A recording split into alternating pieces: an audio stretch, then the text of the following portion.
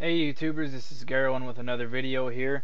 Uh, this is going to be the first in a series of uh, short video tutorials on how to use the EasyGUI library.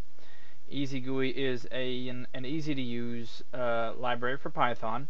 It works with both Python 2 and 3 and is cross-platform to help you generate simple uh, file or uh, graphical dialogues uh, using tkinter. I recommend using some other kind of development environment besides idle because idle is also tkinter and uh, it could interfere with it if you're if you're trying to run it and run an EasyGUI program at the same time. They do have a pretty easy to use tutorial here that goes over all of their dialogues and I'm just going to make uh, a series of, of, quick videos talking about each one. Uh, so the first one we're going to talk about is just message box. Alright, we're going to say bring open Geany here. And now for those of you who don't know, that first line uh, helps Linux users because when you run this file on Linux, you don't have to specify Python 3 to run it with. You can just run it like a normal executable and your computer will know that it to use Python 3 to execute it.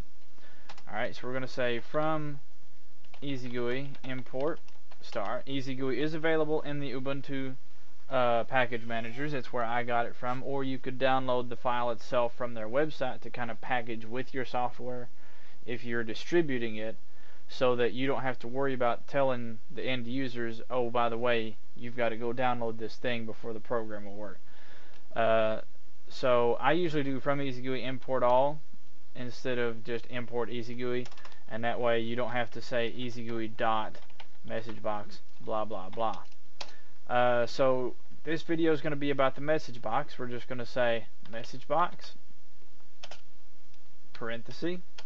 The first argument is always going to be your your uh, your displayed text uh, unless you organize it a different way. So it could be message equals or if you just leave it blank and start typing a string it will assume that that string is going to be the value of the message variable. So we're going to say message. This is a message dialog box alright now you also have a title argument that's going to say uh, that's going to specify the text of your title bar uh, like this up here. So we're going to say title we're going to say title equals this is a sample title. Alright. And then we're going to go down here to our little built-in terminal, and we're going to dot slash, well, let's make sure it's executable first.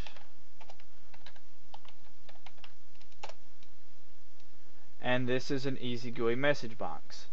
Alright, now like with all of the other easy EasyGUI products, you can set these variables equal to uh, uh, you can set these variables equal to other variables. So let's say this is a message box that's repeated a lot for whatever reason. Uh, you don't have to put the strings here. You can say that, uh, let's say, version. Let's say you wanted all of the, the title bars on all of your dialogues just to be the program version. We can say tutorial version 1.0. Alright end quote.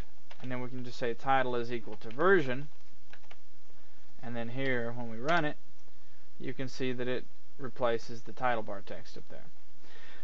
So uh, that's the basic gist of message box. Uh, if you guys have any comments, questions, or concerns or suggestions, post them below. I'm going to try to record a series of videos on this EasyGUI library talking about some of uh, its more useful features. Uh, this is Gerowen out. Y'all have a good one.